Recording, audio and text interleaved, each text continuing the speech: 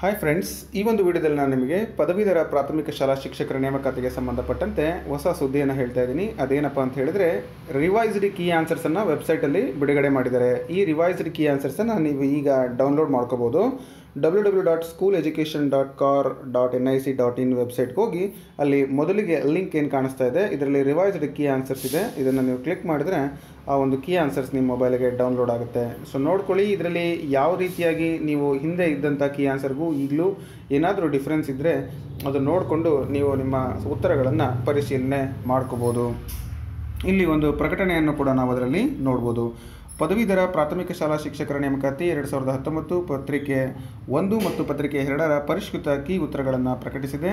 ಪರಿಷ್ಕೃತ ಕೀ ಉತ್ತರಗಳ ಸಂಬಂಧ ಕೇಂದ್ರೀಕೃತ ದಾಖಲಾತಿ ಘಟಕದಲ್ಲಿ ಸಿ ಎ ಸಿ ಯಾವುದೇ ಆಕ್ಷೇಪಣೆಗಳನ್ನು ಇಮೇಲ್ ಮುದ್ದಾಂ ಮತ್ತು ಅಂಚೆ, ನೋಂದಣಿ ಅಂಚೆ, ಸ್ಪೀಡ್ ಪೋಸ್ಟ್ ಇತ್ಯಾದಿಗಳನ್ನು ಸ್ವೀಕರಿಸುವುದಿಲ್ಲ ಅಂತೇಳಿ ಅವರು ಕೊಟ್ಟಿದ್ದಾರೆ. ಇನ್ನು ಯಾವುದು, ಇನ್ನು ಮುಂದೆ ನಾವು ಇನ್ನು ಯಾವುದೇ ರೀತಿಯಾಗಿ ಯಾವುದೇ ಅಬ್ಜೆಕ್ಷನ್ಸನ್ನು ತಗೊಳ್ಳೋದಿಲ್ಲ ಅಂತ ಹೇಳಿ ಕೊಟ್ಟು ಆನ್ಸರ್ಸನ್ನು ಅವರು ನಿಮಗಿಲ್ಲಿ ಪಬ್ಲಿಷ್ ಮಾಡಿದ್ದಾರೆ.